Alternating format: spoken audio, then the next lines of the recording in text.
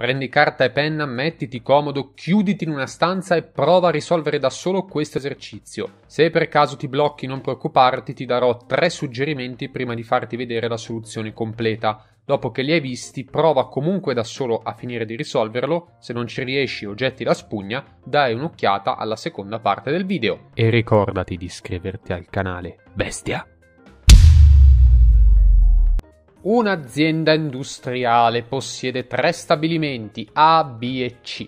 Nello stabilimento A si producono metà dei pezzi e di questi il 10% sono difettosi, qualcuno batte la fiacca lì dentro. Nello stabilimento B si produce un terzo dei pezzi e il 7% di questi sono difettosi. Nello stabilimento C si producono i pezzi rimanenti e il 5% sono difettosi. Sapendo che un pezzo è difettoso, con quale probabilità esso viene dallo stabilimento A? Ok, prova a fare da solo, tra poco inizio a dare suggerimenti, quindi metti in pausa il video se ancora non hai fatto niente. Pronti? 3, 2, 1, primo suggerimento. Questo è uno di quei problemi in cui ti conviene fare un diagramma ad albero per avere un'idea della situazione. Secondo suggerimento, è necessario calcolare la probabilità che un pezzo sia difettoso per ognuno dei tre stabilimenti, quindi qual è la probabilità di avere un difettoso nella nel B e nel C. Infine, per risolvere l'esercizio qua ti serve il teorema di Bayes. Ok, e adesso vediamo la soluzione dell'esercizio. Questo è proprio un classico esempio di teorema di Bayes fatto e finito. Da cosa lo riconosco che devo usare il teorema di Bayes? C'è una frase fondamentale qua dentro. Vi dice sapendo che, perché noi siamo già sicuri che il pezzo sia difettoso. Non tutti i pezzi sono difettosi, ma noi sappiamo che ce ne abbiamo uno scassato in mano ci viene chiesto a questo punto di risalire la probabilità che venga dallo stabilimento A, cioè scritto in matematichese qual è la probabilità che venga dallo stabilimento A, chiamano PDA, dato che, cioè sapendo che, segnato come una sbarra verticale, è difettoso. Quindi lo sappiamo già che è difettoso. Come si fa questa roba qui? Se dobbiamo usare il teorema di Bayes, di sicuro conviene che utilizziamo un bel diagramma d'albero. In che senso? All'inizio ne abbiamo in mano questo pezzo e ci sono tre possibili diramazioni, cioè da che stabilimento può venire questo? Potrebbe venire dallo stabilimento A, potrebbe venire dallo stabilimento B o dallo stabilimento C. Non lo sappiamo a prescindere. Qual è la probabilità che venga da A, da B o da C? Attenti che qua non c'entra ancora che sia rotto o meno, eh, difettoso o meno. Qua è solo dallo stabilimento.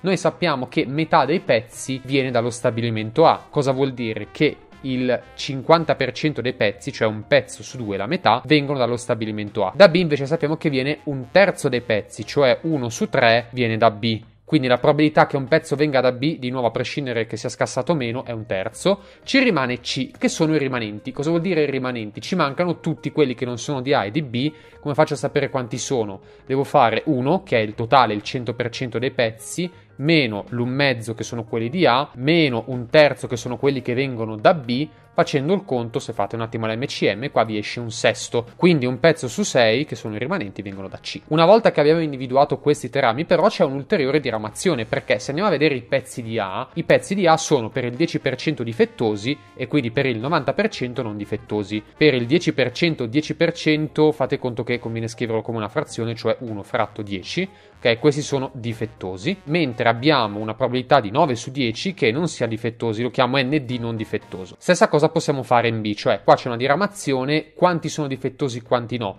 Il 7% sono difettosi, 7% scritto in forma di frazione è 7 centesimi difettosi, il restante, cioè il 93%, 93 centesimi, non sono difettosi. Infine ci manca C, in C il 5% sono difettosi, quindi 5 su 100 che poi volendo possiamo semplificare, per adesso scriviamolo così, sono difettosi, il 95% invece non sono difettosi. Cosa me ne sto facendo di questo diagrammone qua gigante? Io adesso voglio andare a vedere tutti i rami in cui finisce che c'è un difettoso. Quali sono? Sono questo, meglio questi due rami in sequenza, poi abbiamo B con questo e C con questo. Quando vi muovete in un diagramma d'albero, ogni volta che fate un salto in avanti di un ramo, dovete fare una moltiplicazione tra le probabilità. Cosa vuol dire? L'esito finale che ho nel primo rosso qua è il prodotto delle probabilità che ho incontrato per strada. Quindi ho un mezzo per un decimo. L'esito nel ramo rosso, quello di B, invece sarà un terzo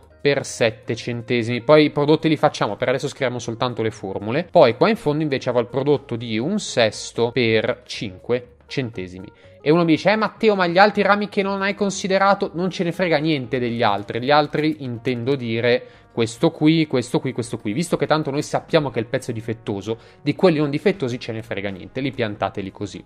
Ok, facciamo un attimo i calcoli. Il primo ci verrà un ventesimo, questo qua sotto ci viene 7 3 centesimi, questo qua sotto qua potete semplificare il 5 con il 100 vi viene un ventesimo e quindi vi esce 1 fratto 120. Cosa ce ne facciamo di queste probabilità? Queste, adesso scriviamolo anche la parola, sono la prima è la probabilità di avere un pezzo difettoso quindi che viene da A, la seconda è la probabilità di avere un difettoso che viene da B e la terza è la probabilità di avere un difettoso che viene da C. Ok, qua attenzione che c'è l'unica secondo me parte un pelo delicata, cioè quello che ci ha chiesto l'esercizio non è la prima cosa. È diverso dire che un ventesimo è probabilità che il pezzo venga da e che sia difettoso rispetto a dire so che è difettoso e devo capire se viene da A. Sono due robe diverse. Come facciamo a fare il conto? Per questa roba si usa il teorema di Bayes. Il teorema di Bayes fondamentalmente ci dice vai a prendere il ramo che identifica i due casi che ti interessano. Cosa significa? Noi vogliamo un stabilimento A e difettoso, quindi vado a prendere la probabilità